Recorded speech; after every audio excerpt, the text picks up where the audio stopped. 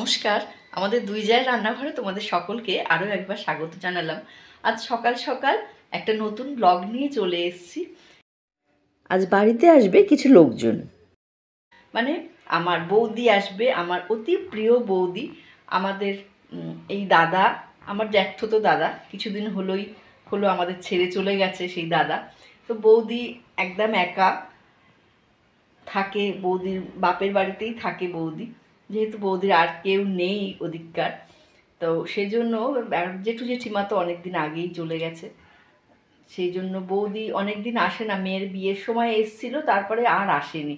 আর এখন অতটা পায়ের ব্যথা, নানা রকমের সমস্যা হয়েছে সেই জন্য এখন আর আসতেও পারে না। তো আজকে বহুদিন পরে আজকে আসবে। ভাই ভাইয়ের বউ সঙ্গে করে নিয়ে আসবে, কারণ একা তো আসতে পারে না, অশোকনগরে থাকে, একা আসতে পারে না। তাই আসবে। তাই আজকে ভীষণ আনন্দ হচ্ছে। অনেক দিন পরে আসবে তো, আজ সারাটা দিন থাকবে, রাত্রিবেলাও থাকবে আজকে। তো বৌদিরা আসবে বলে রান্নাবান্না তাই সকাল সকাল উঠেই শুরু করে দিয়েছি। রান্নাবান্না প্রায় শেষ করেও এনেছি। তো এখন শুধু বেগুনিটা ভাজবো ডালের সঙ্গে। বৌদিরা আসলে গরম গরম বেগুনিটা ভাজবো। তো চলো তোমাদের দেখিয়ে দিই আজকে কি কি রান্না করেছি। খুব বেশি ঝামেলার রান্না করিনি কারণ আসলে তাহলে আগে থেকে না সেরে রাখতে পারলে ওরা আসলে একটু বসে গল্পও করতে পারব না। সেই জন্য মসুরির ডাল করেছি ধনে পাতা দিয়ে, আর এখানে করেছি মৌরলা মাছের ঝাল, পেঁয়াজ কলি, আলু আর বেগুন দিয়ে মৌরলা মাছের ঝাল করেছি।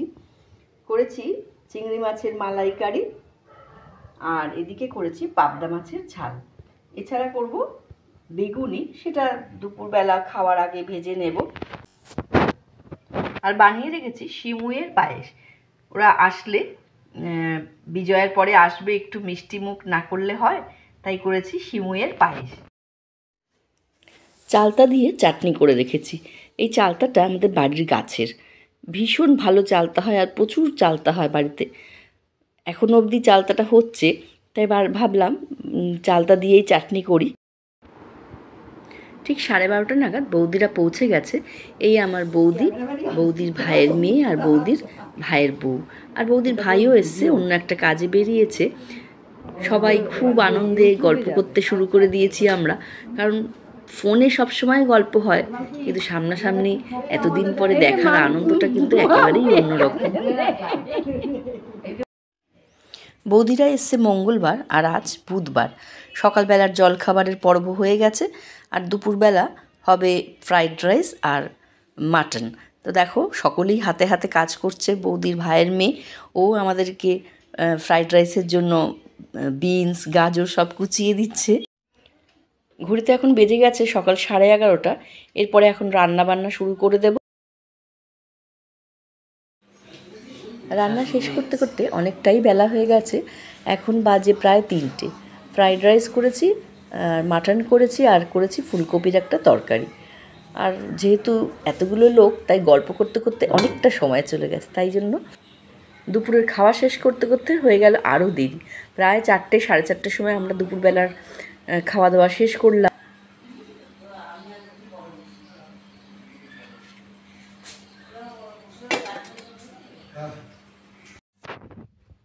আজ বৃহস্পতিবার সকালবেলার ব্লগটা আপনাদের সঙ্গে সামান্য শেয়ার করছি। আজ বৌদিরা চলে যাবে, দুপুরবেলা খাওয়া দাওয়া করে চলে যাবে। মনটাও একটু খারাপ হয়ে আছে, আবার কবে দেখা হবে? সকালের স্নান, পুজো কমপ্লিট হয়ে গেছে। বৃহস্পতিবার তো পুজো করতে লাগে একটু বেশি সময়। মাছ করব কাতলা মাছ করব আর করব মেথি শাক বেগুন দিয়ে করব। এছাড়া আর আজকে কিছুই করব না। কারণ ওদিকটা সময়টা অনেকটা বৌদির আর তিনটে ট্রেন ধরবে, তার মধ্যে আমাকে রান্নাবান্না কমপ্লিট করতে হবে। আমি যখন রান্না করছিলাম, তখন আমার বৌদির ভাইয়ের বউ, দেখো, কি সুন্দর করে আমার আলমারিটা গুছিয়ে দেবে। আমার বিশেষ করে শাড়ির তাক দুটো খুব এলোমেলো হয়ে গেছিল। আর আমি ভাজ করলে না কোনাগুলো একদম মিলাতে পারি না। ও দেখো, শাড়ির কোনাগুলো কি সুন্দর করে মিলিয়ে ভাঁজ করে দিচ্ছে। আর শাড়ির তাক দুটো ও গুছিয়ে দেবে। হাতে সময় থাকলে ও হয়তো পুরো আলমারিটাই গুছিয়ে দিত। কিন্তু আজকে ও দুটো শুধু শাড়ির তাকটাই গুছিয়ে দিচ্ছে।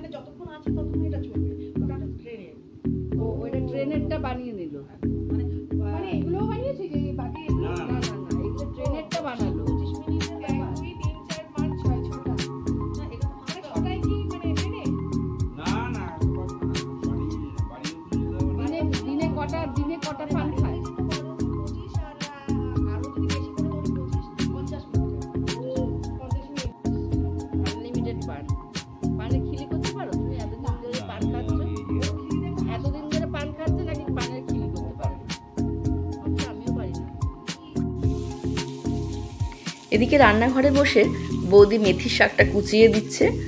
বৌদি মেথির শাকটা আগেই ধুয়ে নিয়েছে, বেছে ধুয়ে নিয়ে তারপরে কুচিয়ে দিচ্ছে। আজকাল কিন্তু কারোর বাড়িতেই সেরকমভাবে আত্মীয় স্বজন আসা, থাকা, এগুলো প্রায় উঠেই গেছে, কারণ প্রত্যেকেই ব্যস্ত।